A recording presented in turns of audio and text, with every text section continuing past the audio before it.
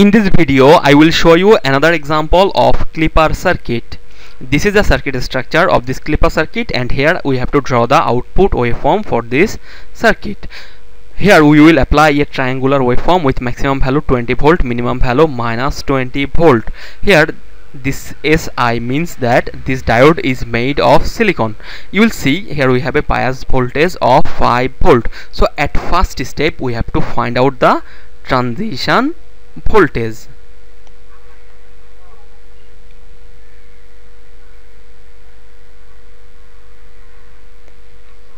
To calculate transition voltage, we will start our analysis from that half cycle that will connect this diode at the same polarity as this bias voltage. See the positive terminal of this bias voltage will be connected with the p side of the diode and negative terminal will be connected with the n side of the diode.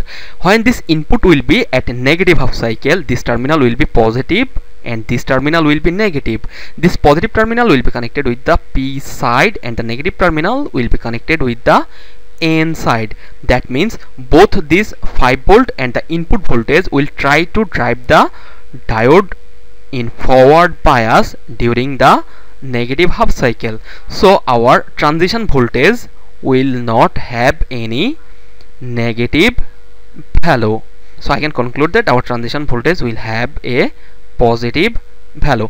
And see here during this negative half cycle our diode will be in forward bias okay?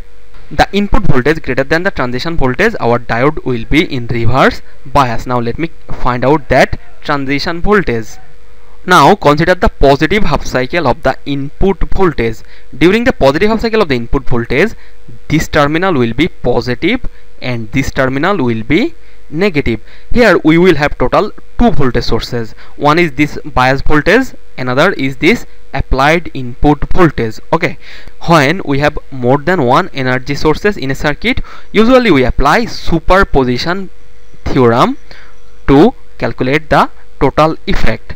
Now let's say at first I will consider the effect of this input voltage. At that time I will replace this voltage source with a short circuit.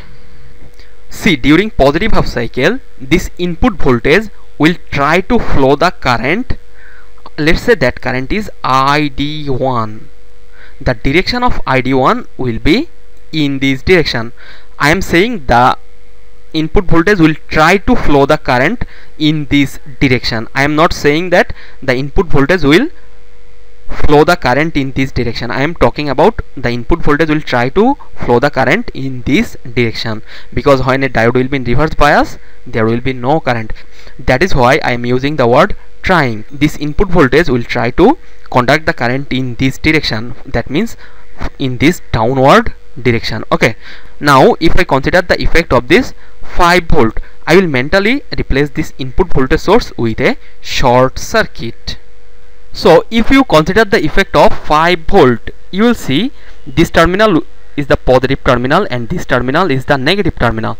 This 5 volt will try to conduct the current in this direction. In the circuit this 5 volt will try to conduct the current in this direction. So the direction of current for this 5 volt source through the diode will be in this direction. Let's say I denote that current with ID2 id1 is flowing in this direction and id2 will flow in this direction.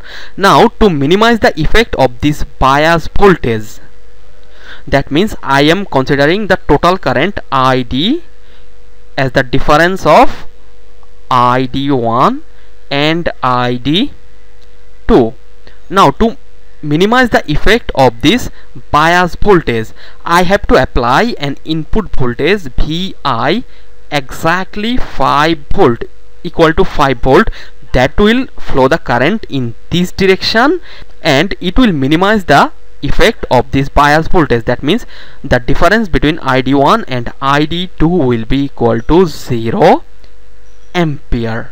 The value of the input voltage for which the effect of this bias voltage will be minimized such that the current in this direction and the current in this direction. That means the current through the diode will be equal to 0 or the current in the circuit will be equal to 0 that voltage will be our transition voltage and here vi equal to 5 volt will be our transition voltage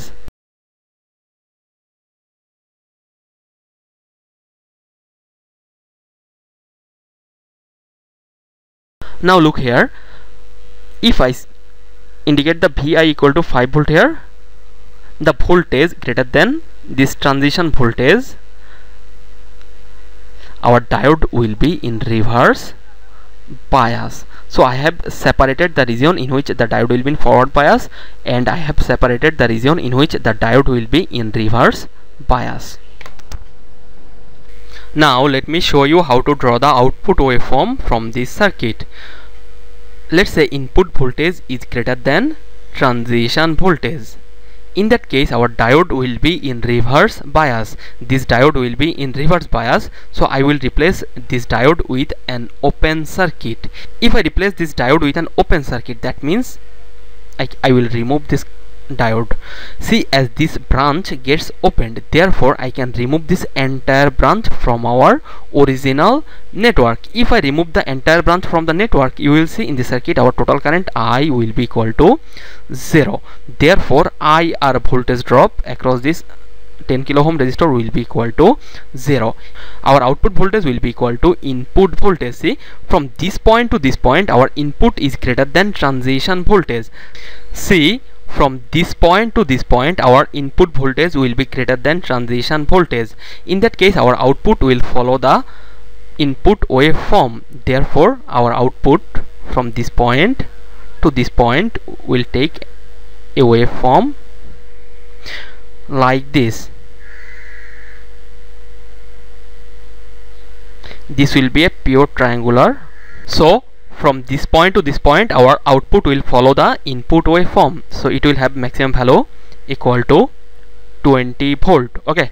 And this voltage level is equal to 5 volt. Now let me consider this case. When our input voltage will be less than the transition voltage. In that case the diode will be in forward bias. As the diode is in forward bias I will replace the diode with a voltage source of 0.7 volt. If this is our diode I will replace it with a voltage source of 0.7 volt like this.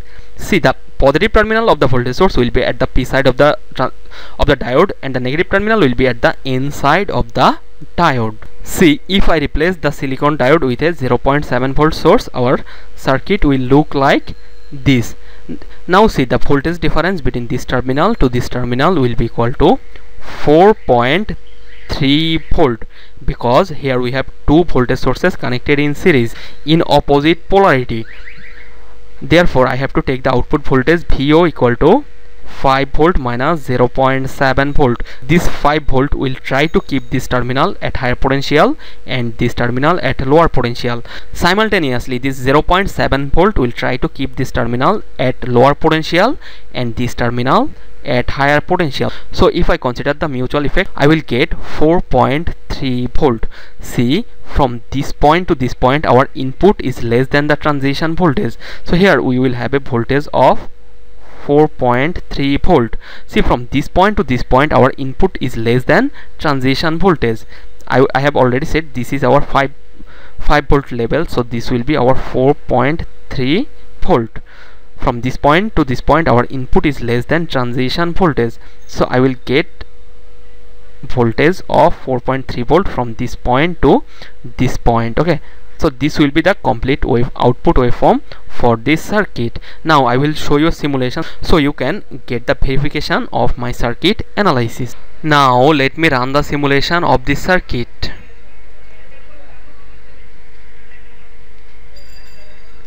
See this is the input and this is the output waveform of the circuit. The red waveform indicates the input waveform and the green waveform indicates the output waveform. See our input will have maximum value around 20 volt and minimum value of minus 20 volt. Okay. Now see the output voltage. See from this point to this point from this point to this point our output voltage will follow the input waveform. And this is the voltage. When the input voltage is greater than the transition voltage and after that our output voltage will be fixed at a voltage of around 4.3 I have shown you. Here it is 4.42 volt. Okay? That's it. Thank you